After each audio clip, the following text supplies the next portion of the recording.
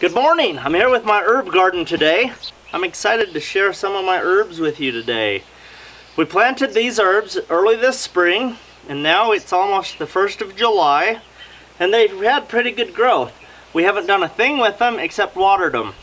I think I took the weeds out of them one time and we have a lot of weeds in here and we have herbs that need to be pruned so that they will flourish and keep growing beautiful for the rest of the summer so they don't get too tall and leggy.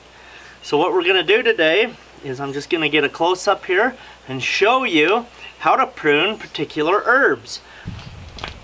Okay, I have a pot of basil here. I have a couple of different varieties and they're just random uh, basil seeds that we had so I don't even know the variety name but I have this one right here it has two branches and I have this red one and I have a little tiny one here in the back that isn't doing so good. And what else I have here is I have weeds. I don't want to hurt the root system, so I'm going to take my clippers and I'm just going to go down under the soil a little bit and just cut the, the weed right out. So there's a weed, here's a weed. Those are lamb's quarters. Three lamb's quarter weeds. Now those weeds could grow back from where I cut them off. Sometimes it's better to pull them. Um, this is a, a lettuce that is going to seed. So I'm just going to do the same thing. I'm going to find his roots and I'm going to cut him off at the base. That way I'm not pulling it up, hurting the hurting the basil plants. There, we have the weeds cleaned out now. Oh, there's one more. Okay, the weeds are cleaned out. Now we want to work with the basil plants. So if you look at this plant right here, you'll see you have a main stem coming all the way to the top, and on the top it's starting to flower. Little tiny leaves are part of the flower structure. And what we want is for this plant to get bushy and big. So we're going to cut it off. Uh, we can pretty much cut it off anywhere along that stem. But I'm going to cut it right here. Move that so we can see. I'm going to cut it right there. Okay, now this one I'll take into the kitchen and I'll make something wonderful with it. So I'm just going to save that. Now I'm going to do the same thing to this one. I'm going to come down and I'm going to cut it off right there and I have some wonderful basil to take in the house. But I still have a lot of leaves on those two stems so that it can continue to produce. Now let me tell you about the science of this a little bit. Back to Plant Science 101, if you ever took that in college, you remember uh, they were talking about meristematic tissue and um, the plant hormones. There's an auxin, which is the name of a plant hormone. In the science world, we call that a phytohormone. Phyto is just a, fancy word for plant. So there's a phytohormone called an auxin, and, and it's always in the tip of the of this plant here. And a lot of plants have that. Peach trees have it. Um, many, many, many plants have an auxin. And what the auxin does is it tells the rest of the plant what to do. And so all the way down this stem, if that auxin is present in the tip, and it tells these other side shoots, this one, this one, this one, it tells them not to grow big and bushy and fast. So now we removed the tip, and so these side shoots, this one and this one, that one, this one, this one, that one, they will start poofing out. And when this gets bushy, then I'll have the tips of all those will start creating auxins and then we have to remove those and we'll get a really bushy plant. So that's what we're going to do right here to this red one. We're going to remove the auxin. Now you could just remove it way up here, right there, but I'm going to go down a little bit because I want to have some basil to eat in the kitchen. Okay, so that one's going to get thicker now. This one, and let's take this one down substantially. There we go. So I have some fun basil for the kitchen and this plant will get bigger and fatter and happier. So that's an awesome thing that we can do to that. Um, and that's how you make basil to be big and beautiful.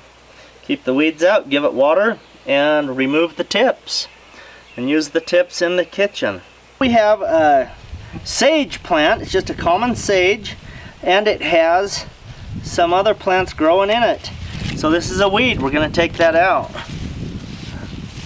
and we're to take that one out. This one I'm actually to let grow. It's a pumpkin. And I'm to fertilize this pot and we're to see if that will spill over the edge and actually grow a pumpkin this year just for fun. It's not to crowd out and hurt this um, sage at all. Sage is very similar to what I just explained about the on the basil.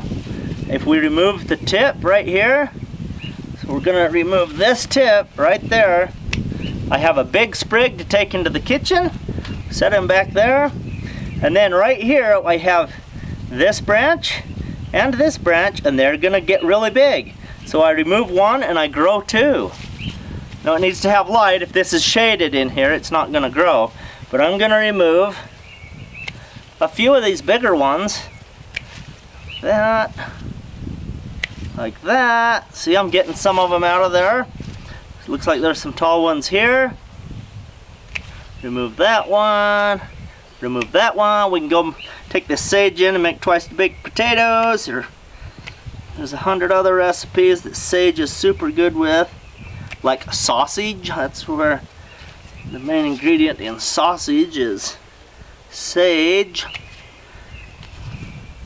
If you have a source for really good pasture-fed pork, it has wonderful nutrition in it, nutrient-dense nutrition, and you could get use this sage with it. It'd be wonderful. Here's another pumpkin. I don't want too many. I only want that one plant to grow. Okay, there's my sage. There we go. This is awesome. So that's good. So now that's looking good. Now this plant was already really full and big and beautiful, but we made it even better now by pruning it back. So that's how you would harvest to go and um, eat in the kitchen. You don't want to cut it clear off at the ground. We have a lot of um, foliage on there, a lot of leaves, so that it can um, grow and be beautiful. Okay, first thing is get the weeds out. Here's the lamb's quarters. Way too big. Here's another one. Here again, I'm just cutting them off so we don't disturb the roots. It's not really going to hurt these plants if we did disturb the roots, but... Okay, so this plant right here, this is marjoram. Some people call it sweet marjoram. Now when you have a plant like this, I'm doing the same basic thing, but the leaves are so small, I don't just want to pick out each little one. So what I'm going to do is I'm going to gather the entire plant together. Some plant, some branches coming over here. Okay, I've, been, I've gathered the entire plant together. Okay, and then I'm going to hold on to it, and I'm going to come up halfway through the plant, and then I'm going to go another little bit. Okay, so I'm taking off one quarter of the plant and I'm just going to snip the whole thing and it's beautiful. Here's what I've harvested to go in the kitchen. It's a bunch. It's all ready to go. So that is perfectly awesome right there. I'm just going to twist this pot around. And what we have here is a thyme plant. This is common thyme. There's different kinds of thyme. There's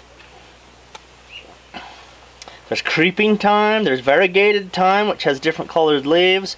what I want to do with this one is the same thing. I want to take the tops off so that it will sprout and get more bushy. So I'm going to bunch it together, and I'm going to take off the top fourth. So I'm leaving three-fourths of it. Go like that, and there we go, we're done. Here's a couple of stragglers. I'll go ahead and take those tops off right there. And now that one is pruned and ready to go.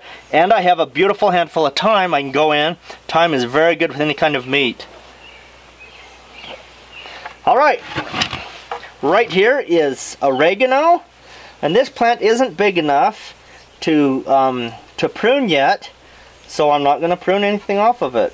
If I needed to eat some, I could just take the tops off with a pair of scissors, but um, it doesn't need anything done because it's still pretty low. I want it to grow up more. Now chives are entirely different. If you pick a chive leaf off, it's not going to sprout a whole bunch more. They will sprout more from the roots down deep in the root system. Um, and these chives are just about perfect for harvest right now. They're growing beautifully. I'm not going to pick them today because I don't have a recipe um, to go with the onion chives here. But that is uh, a beautiful pot of herbs that is pruned nearly perfect. I love the way that looks right there.